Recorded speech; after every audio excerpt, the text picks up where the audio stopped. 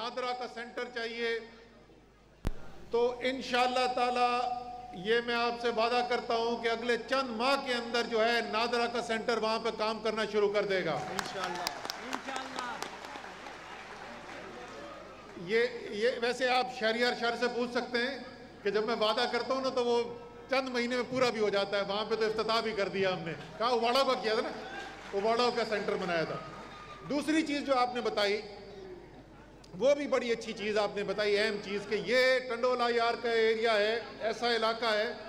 अल्लाह ताला ने ऐसा यहाँ पर मौसम, ऐसी ज़मीन दी है कि ये ज़रात का बहुत बड़ा मरकज़ है। लेकिन जो आबादगार हैं, जो ज़रात में काम करते हैं, उनको पता है कि इजनास पैदा तो हो जाती हैं, लेकिन पैदा करने वाले किसान को, आबादगार को उसकी सही कीमत नहीं मिलती है।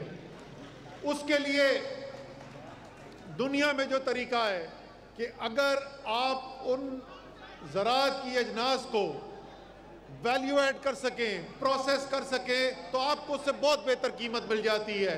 तो इन ताला एक प्रोजेक्ट हम बनाते हैं, वजारत, हमारी जो सनत है इंडस्ट्रीज़ मिनिस्ट्री के साथ मिलकर एक फ़ूड प्रोसेसिंग सेंटर यहाँ पे बनवाते हैं जिसमें जो आपकी बड़ी ज़रात की जो प्रोड्यूस है उसको फिर वैल्यू ऐड किया जा सके। आबादगार को कीमत भी बेहतर मिलेगी लोगों के लिए नौकरियाँ भी पैदा होंगी इन ताला। तीसरी चीज़ आपने जिसका ज़िक्र किया वो ये कि यहाँ पर चार प्रोड्यूसिंग फील्ड्स आपने कहा। चार फील्ड्स हैं जहाँ से गैस पैदा हो रही है लेकिन यहाँ के लोगों को गैस नहीं मिल रही है। ये इमरान खान की तहरीक इंसाफ की, हुकूमत की बड़ी वाज पॉलिसी है कि जिस इलाके से गैस निकलती है, सबसे पहला हक उस गैस के ऊपर उसी इलाके के लोगों का होता है। इन ताला वापस जाकर तफसील के साथ हम बैठते हैं, पेट्रोलियम मिनिस्ट्री के साथ। और खसूस वो जो पाँच किलोमीटर वाली है, अगर उसमें से तो कोई भी एक भी गाँव ऐसा है जिसको नहीं मिल रही, उसको फौरी तौर पर गैस दिलवाते हैं और उसके अलावा भी अगले साल के जो तरक्याती बजट बनाएँगे, बाकी जो गाँव है इधर, उनके लिए भी गैस की हम स्कीमें डलवाते हैं। इन ताला टंडो आयार के इलाके से जो गैस बाकी पाकिस्तान में जा रही है, वो गैस सबसे पहले आपको मिलनी चाहिए। इन इस पर भी काम करेंगे।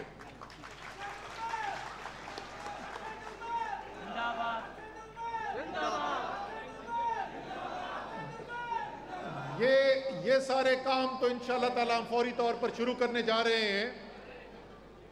लेकिन जो सिंध के बड़े मसले हैं, वो बड़े मसले उस वक्त तक हल नहीं होंगे। जब तक सियासी हुक्मरानी सिंध के ऊपर उनकी होगी, जो नाम सिंध का इस्तेमाल करते हैं, जो बात सिंध धरती की करते हैं, लेकिन जिनकी जायदादें जो हैं, वो दुबई में, इंग्लैंड में, फ्रांस में और स्विट्जरलैंड में मिलती है। पचास साल से पीपल्स पार्टी सिंध के अंदर हुकूमतें बनाती चली आ रही है। उस दिन वो नौजवान जो है अच्छा वैसे आपको मैं अच्छी बात बताऊँ, मुझे बिलावल पे गुस्सा कभी नहीं आता। ऐसा मासूम सा नौजवान है। ज़िंदगी में काम कभी किया हुआ नहीं है, ना उसको पता है कि हकीकत क्या है। वो कहता है, हमें टाइम चाहिए। उसको शायद पता नहीं है कि उसके नाना आज से तकरीबन 50 साल पहले पाकिस्तान के चीफ मार्शल लॉ एडमिनिस्ट्रेटर बने थे और सिंध में पहली दफ़ा पीपल्स पार्टी की हुकूमत बनी थी। 50 साल के बाद वो कह रहा है, हमें टाइम चाहिए। किस चीज़ का टाइम चाहिए? क्या सरे में और कोई महल बनाना है? या डायमंड के नेकलेस जो उनके निकल रहे हैं स्विट्जरलैंड के बैंकों से वो और नेकलेस बनाने।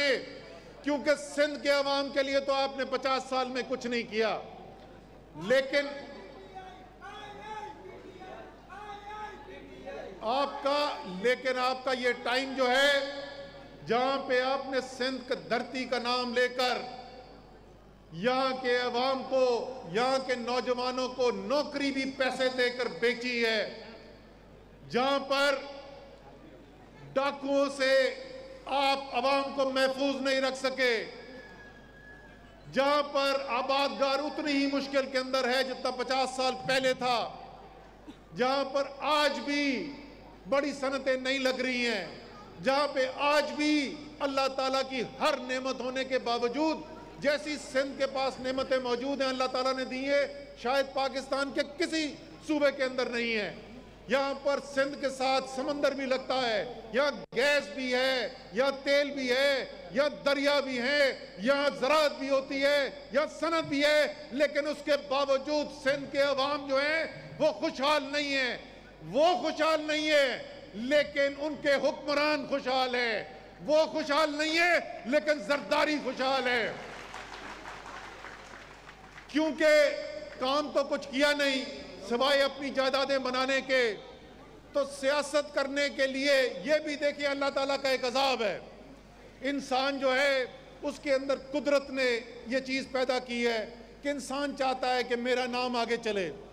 वो औलाद पैदा करता है, औलाद से मोहब्बत करता है, तालीम दिलाता है, उसको अपने पैरों पे खड़ा करने की कोशिश करता है, क्योंकि अल्लाह ताला ने एक इंसान के अंदर एक चीज़ पैदा की है कि इंसान चाहता है कि उसकी ज़ात आगे चले। ये कितना बड़ा अल्लाह का अजाब है कि सियासत के लिए, जायदादें बनाने के लिए वो खड़े होके कहता है कि जरदारी का जो बच्चा है, उसको जरदारी ना बोलो, उसको भुट्टो बोलो, जो अपने नाम से शर्मिंदा है।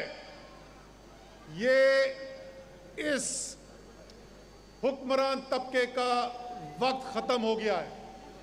टंडुवाला यार के अवाम की आँखों में जो मैं शौर देख रहा हूँ, जो यहाँ के नौजवानों में जो जज्बा देख रहा हूँ, मुझे नज़र आ रहा है कि ये जो जुल्म का निज़ाम था, इसका टाइम अब ख़त्म होता जा रहा है। और अली पाल, मैं आपको मुबारकबाद देता हूँ, मैं आपको पेश की मुबारकबाद देता हूँ। इन ताला इन ताला अगले इलेक्शन के बाद हम यहाँ पर आएँगे और आप हमसे नहीं मांगेंगे। हम आवाम से पूछेंगे कि ये अली पल जिसको आपने मुंतखब करके असम्बली में भेजा है ये आपके लिए क्या काम कर रहा है?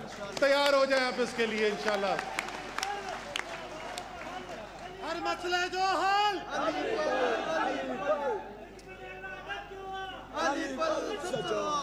अच्छा जी, अब आखिर में मैं सिर्फ़ आपको ये बताता जाऊँ कि जिस काम के लिए हम निकले में इन ताला अगले महीने में हमने ये तमाम मंसूबे जमा कर कर सिंध के अवाम के लिए तरक्याती पैकेज मरतब करके वज़ी अजम से उसकी मंजूरी लेनी है और इन ताला उसके बाद वज़ी अजम इमरान खान खुद आएँगे और वो आकर इस पैकेज का ऐलान करेंगे।